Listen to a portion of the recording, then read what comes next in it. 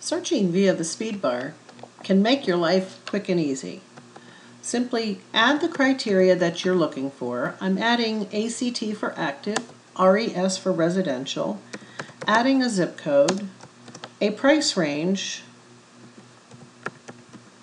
150 to 250 preceded by the dollar sign, space 3 plus for the bedrooms, space 2 plus for the number of bathrooms, now I've got my active, my res, my zip code, my price range, my bedrooms and bathrooms.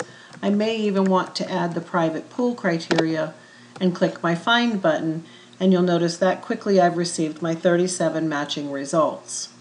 Remember the speed bar is not concerned with the order of the entries, only that bedrooms precedes bathrooms.